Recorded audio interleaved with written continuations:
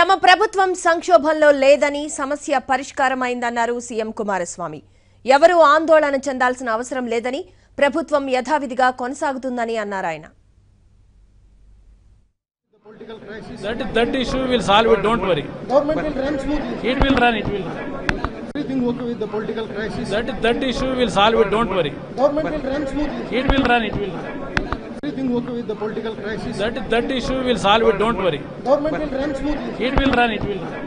Everything okay with the political crisis. That, that issue will solve it, don't worry. Government will run smoothly. It will run, it will run.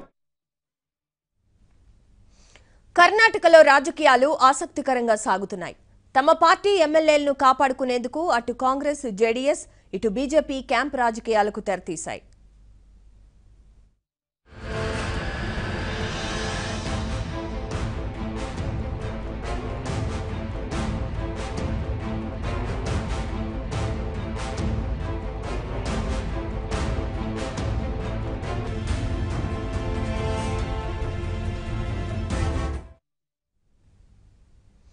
ఉదయం నుంచి వేగంగా సాగిన పరిణామాల మధ్య rebel ఎమ్మెల్యేలను బుజ్జగించేందుకు కాంగ్రెస్ ప్రయత్నాలు చేసింది. అయితే రాజీనామాలపై రెబల్స్ వెనక్కి తగ్గలేదు. దీంతో మధ్య మార్గంగా కొత్త ప్రభుత్వ ఏర్పాటుకు అందరితో రాజీనామాలు చేయించాలని కర్ణాటక కాంగ్రెస్ పెద్దలు నిర్ణయించారు. ఇందుకు అనుగుణంగా కాంగ్రెస్ మంత్రులు రాజీనామాలు చేశారు. దీంతో అటు జేడీఎస్ మంత్రులు కూడా రాజీనామాలకు సిద్ధపడ్డారు.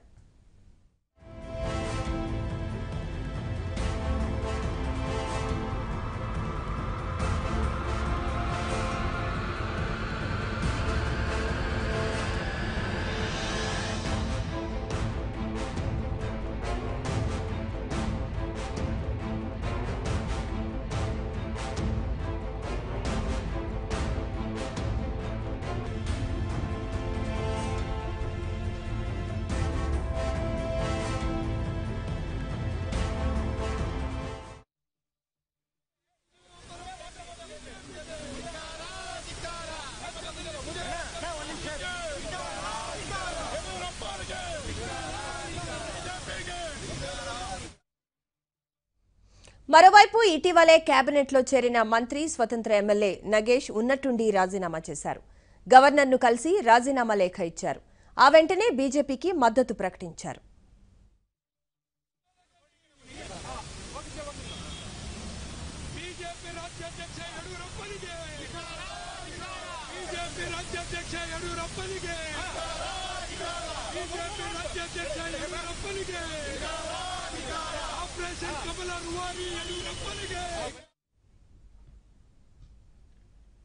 సంక్షోభ నివారణ కోసమే తమ మంత్రులు రాజీనామా చేసినట్లు సిద్దరామయ్య ప్రకటించారు. రేపు సీఎల్పీ మీటింగ్కు అందరూ రావాలని విజ్ఞప్తి చేశారు. ఇదే సమయంలో కాంగ్రెస్ ఎమ్మెల్యేలకు అధికారికంగా కూడా ఆదేశాలు వెళ్ళాయి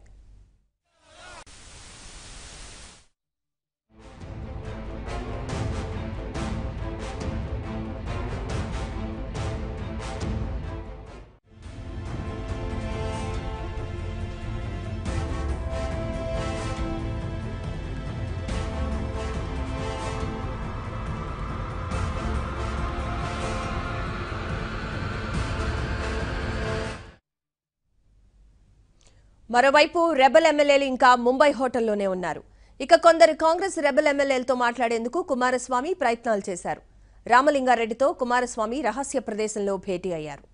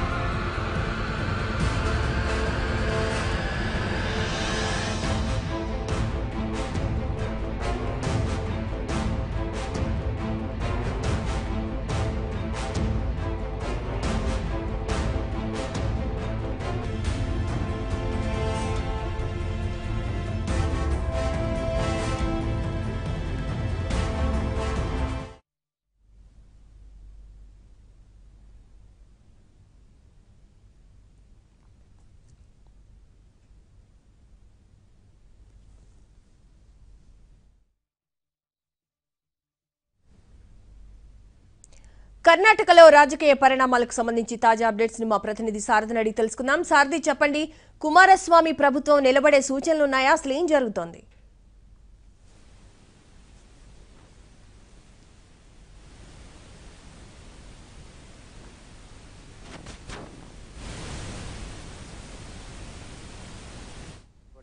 నగేష్ ఉదయమే ఆ గవర్నర్ను కలిసి అంటే ఆయన స్వతంత్ర ఎమ్మెల్యే గెలుపొందారు కాబట్టి ఆయన స్వతంత్రంగా కాబట్టి ఆయన స్వతంత్రంగా గవర్నర్ కలిసి రాజీనామాను ఇవ్వడమే కాకుండా తన మద్దతును కూడా ఉపసంహరించుకున్నట్టు కూడా లేఖలో పేర్కొన్నారు. ఇక తాజాగా అంటే ఈ ఉదయం వరకు కూడా కాంగ్రెస్ మంత్రులతో కలిసి పరమేశ్వర నివాసంలో ఉప ముఖ్యమంత్రి నివాసంలో సమావేశమై ఉండి ఉన్నటువంటి నేత ఆ మంత్రులతో కాంగ్రెస్ మంత్రులతో పాటు రాజీనామాకు సిద్ధపడ్డటువంటి స్వతంత్ర ఎమ్మెల్యే శంకర్ కూడా ఆయన ప్లేట్ ఫిరాయించారు. కొద్దిసేపటి క్రితం రాజ్భవన్ చేరుకున్నారు. రాజ్భవన్ చేరుకొని ఆయన ఆ, గవర్నర్ను కలిసి సంకీర్ణ ప్రభుత్వానికి తన మద్దతు ఉపసంహరించుకున్నట్టుగా కూడా ఆయన తెలిపినట్టుగా తెలుస్తుంది. మరి కాసేపట్లో ఆయన గవర్నర్ను కలిసి దాదాపు గంట సేపు ఆ సమావేశం కొనసాగుతుంది మరో పది నిమిషాల్లో ఆయన బయటకు వస్తారని తెలుస్తుంది. బయటకు వచ్చి అధికారికంగా ప్రకటిస్తారని తెలుస్తుంది. ఇప్పటికే పన్నెండు మంది ఎమ్మెల్యేలు పార్టీ రాజీనామా చేయడం ఎమ్మెల్యే పదవి కూడా రాజీనామా చేయడం అనేటువంటిది తో సంక్షోభం ఏర్పడింది. ఆ సంక్షోభం కొనసాగుతుండగానే మంత్రులు ఇలా చేజారిపోతుండటంతో ఆ కాంగ్రెస్ జేడీఎస్ సంకీర్ణ కూటమిలో ఆందోళన అనేది కనిపిస్తోంది. మరోవైపు క్యాంపులు రాజకీయాలు కూడా కొనసాగుతూ ఉన్నాయి. అటు ఆ బీజేపీ పార్లమెంటరీ పార్టీ బీజేపీ శాసనసభ పక్ష సమావేశం బీజేపీ పార్టీ కార్యాలయంలో కొనసాగుతోంది ఇక జేడీఎస్ కూడా తన ఎమ్మెల్యేలను క్యాంపుకు తరలించేటువంటి ప్రయత్నం చేస్తోంది. ఇప్పటికే ఆ, కూర్గు ప్రాంతంలో ఉన్నటువంటి ఒక రిసార్ట్ను బుక్ చేసుకొని అక్కడ తరలించేందుకు ఏర్పాటు చేస్తుంది. కొద్దిసేపటి క్రితమే ఆ జేడీఎస్ ఎమ్మెల్యేలతో భేటీ కావడానికి కుమారస్వామి తాజ్ హోటల్కి వచ్చారు. అక్కడ ఎమ్మెల్యేలతో సమావేశమైన తర్వాత వారందరినీ అక్కడి నుంచి రిసార్ట్ తరలిస్తారు. అయితే కాంగ్రెస్ జేడీఎస్ కూటమి చివరి వరకు కూడా ఆ ధీమాతో ఉంది. తమకు ఖచ్చితంగా ఆ- ఆ బల నిరూపణ చేసుకున్నా ఏ రకంగా చూసినా కూడా తమకు ఇబ్బంది ఏం లేదనేటువంటి అభిప్రాయాన్ని ఉదయం నుంచి కాంగ్రెస్ నేతలంతా కూడా వ్యక్తం చేస్తూ ఉన్నారు. ఏసీసీ సెక్రటరీ అలాగే కర్ణాటక వ్యవహారాల ఇన్ఛార్జి కేసీ వేణుగోపాల్ ఇదే అభిప్రాయం వ్యక్తం చేశారు. తర్వాత మాజీ ముఖ్యమంత్రి సిద్ధారామయ్య కూడా ఇదే ధీమాను వ్యక్తం చేశారు. వాళ్ళ యొక్క ఒకటే ఒక కాన్ఫిడెన్స్ వల్ల ముంబైలో ఉన్నటువంటి ప- పది మంది ఎమ్మెల్యేల్లో ఖచ్చితంగా ఒక నలుగురు ఐదుగురు తమకు గూటికి వస్తారనేటువంటి ఆశాభావంతో ఉన్నారు. అయితే ఇప్పుడున్నటువంటి పరిస్థితులు చూస్తూ ఉంటే వా వారు వచ్చేటువంటి పరిస్థితి కనిపించలేదు. వారి కోసమే ఆ ఎమ్మెల్యేలు రావడం కోసమే మంత్రులంతా ముక్కుమ్మడిగా రాజీనామా చేసి వచ్చిన వారికి మంత్రి పదవులు ఇస్తామనేటువంటి కబురు పంపారు. కానీ అయినప్పటికీ ఆ రాజీనామాకు సిద్ధపడ్డటువంటి ఎమ్మెల్యేలు ఎవరు రావడం లేదు. అలాగే ఈ గూటి నుంచి ఒక్కరొక్కరుగా తగ్గిపోతా ఉన్నారు. ఒకరొకరు బీజేపీ వైపు చేరిపోవడం మాత్రం కొంత ఆందోళన కలిగిస్తోంది కాంగ్రెస్ జేడీఎస్ కూటమికి. ఇంకా ఉదయం వచ్చినటువంటి మంత్రుల్లో కూడా ఇంకా ఎందరూ పార్టీ వీడిపోయేటువంటి అవకాశం ఉంది. కాంగ్రెస్ పార్టీ గుడ్ బై చెప్పి రాజీనామా చేస్తారా అనేటువంటి ఆందోళన కూడా కాంగ్రెస్ జేడీఎస్ కూటమిలో కనిపిస్తోంది. అంటే బీజేపీ పట్టు బిగించడానికి ఉన్నటువంటి అన్ని అవకాశాలు కూడా ఉపయోగించుకుంటా ఉంది. అయితే రేపు స్పీకర్ డెసిషన్ తర్వాతనే అధికారికంగా ఆ పార్టీ చేయబెట్టువంటి ఇది విషయాన్ని బయట పెట్టేటువంటి అవకాశం ఉంది. ఇప్పటివరకు ఆ పార్టీ స్పీకర్ నిర్ణయం తర్వాత ప్రకటిస్తాం. స్పీకర్ నిర్ణయం తర్వాత తమ అభిప్రాయం చెప్తామని దా మా దాట ఉంది. కానీ స్పష్టంగా ఏ చేయబోతుందనే విషయాన్ని బయటకు మాత్రం చెప్పడం లేదు. కాకపోతే మొత్తం వ్యవహారం బీజేపీ కనుసన్నలోనే జరుగుతుందనడానికి రెండు మూడు ఆధారాలతో సహా బయటపడిపోయింది.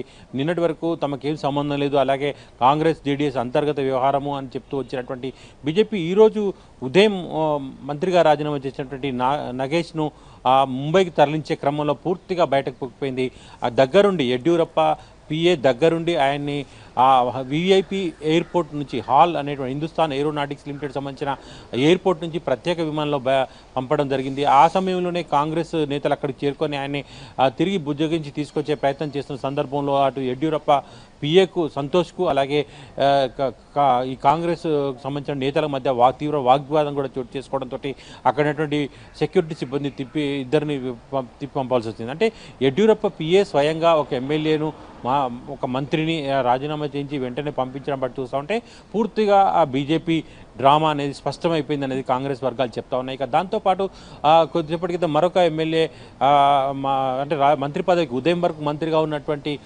ఎమ్మెల్యే శంకర్ ఆయన కాంగ్రెస్కు మొదటి నుంచి సన్నిహితంగా ఉండారు. కాంగ్రెస్ రెబల్గా ఉండి స్వతంత్ర అభ్యర్థి గెలుపొందారు కాబట్టి ఈ మంత్రివర్గ విస్తరణలో కూడా కాంగ్రెస్ కోటాలోనే ఆయనకు మంత్రి పదవి కట్టబెట్టినట్టు తెలుస్తోంది. ఆయన కూడా కొద్దిసేపటి క్రితం రాజ్భవన్లో ప్రత్యక్షమై ఈ ప్రభుత్వానికి మద్దతు ఉపసంహరించుకుంటున్నట్టు ఆ లేఖ ఇస్తున్నట్టు తెలుస్తోంది. ఆ లేఖను ఇచ్చి గవర్నర్తో భేటీ తర్వాత తర్వాత అధికారికంగా బయట పెట్టేటువంటి అవకాశం కనిపిస్తోంది. అలాగే ఈ ఎమ్మెల్యేలంతా కూడా ముంబైలో మకాం వేశారంటేనే ఖచ్చితంగా బీజేపీ అండదండలతోనే జరుగుతుందనేది కూడా స్పష్టమైపోయింది.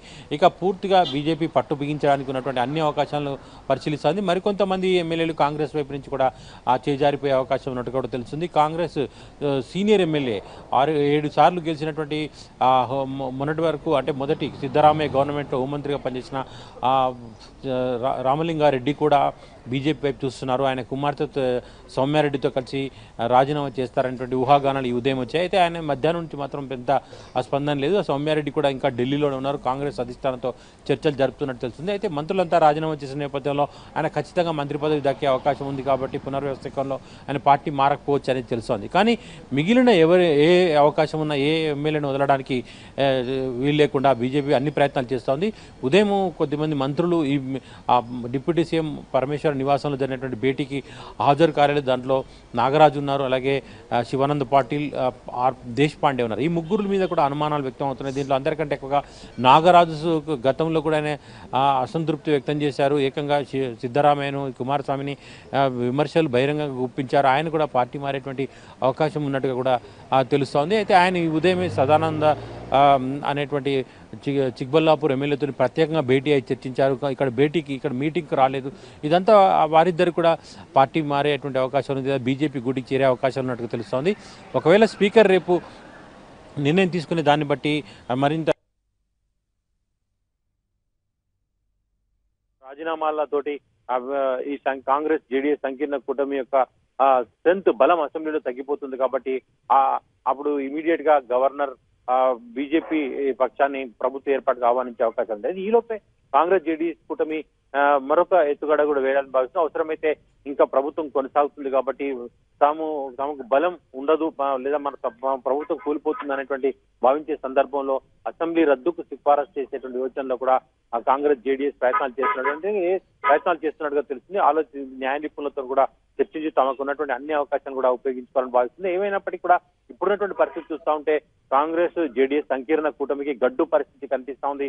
ఎమ్మెల్యేలు రాజీనామాలు చేయడమే కాకుండా ఇద్దరు మంత్రులు ఎవరైతే స్వతంత్రంగా గెలుపొంది సంకీర్ణ ప్రభుత్వంలో మంత్రులుగా ఉన్నారో ఇద్దరు పార్టీ మారిపోవడం చూస్తా ఉంటే అలాగే కాంగ్రెస్లో ఇంకా కొద్ది మంది పార్టీ మారిపోతారనేటువంటి ప్రచారం జరుగుతున్న నేపథ్యంలో ఆ ప్రభుత్వం మనగడంటే కష్టం అవుతుందని తెలుస్తోంది అయితే అసెంబ్లీ రద్దు అవుతుందని తెలిస్తే కొద్దిమంది ఎమ్మెల్యేలు తమ వైపు వస్తారు లేదా ఈ మంత్రి పదవులు ఇస్తాము అని దానికి అనుగుణంగా ఇప్పుడు రాజీనామాలు కూడా చేశాం కాబట్టి ఆ ముంబైలో ఉన్నటువంటి ఒక నలుగురు తమ గూటికి వస్తారనేటువంటి చివరి ఆశతోటి కాంగ్రెస్ జేడీఎస్ కూటమి ఉంది. ఆ అందులో నలుగురు వెనక్కి తిరిగి వస్తే తప్ప కాంగ్రెస్ జేడీఎస్ కూటమి బతికి పట్టేటువంటి అవకాశం లేదు.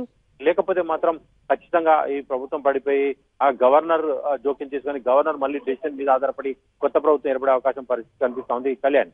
Thank you Jayasarathi